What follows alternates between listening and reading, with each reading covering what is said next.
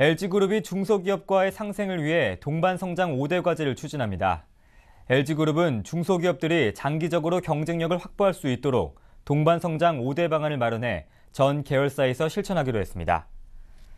LG는 5대 과제로 중소기업의 기술력을 높이기 위해 중소기업의 R&D를 지원하는 한편 장비와 부품을 국산화하기로 했습니다. 또 협력 회사들의 사업과 금융에 대한 지원을 하며 소통을 강화하기로 했습니다. LG그룹은 납품 대금 조기 결제를 실시하는 한편 협력 회사로부터 경조사 관련 금품 수수를 일절 금지하도록 윤리 규범을 변경했습니다. 구본무 LG그룹 회장은 LG가 협력 회사들이 가장 신뢰하고 거래하고 싶은 기업이 되도록 노력하라고 강조했습니다. LG전자와 LG디스플레이, LG화학 등 계열사들은 그룹 차원의 5대 상생 방안을 구체화한 내용의 동반 성장 방안을 추진해오고 있습니다.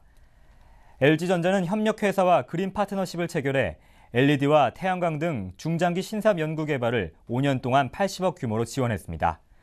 또한 교육 지원을 위해 동반 성장 아카데미도 운영하고 있습니다.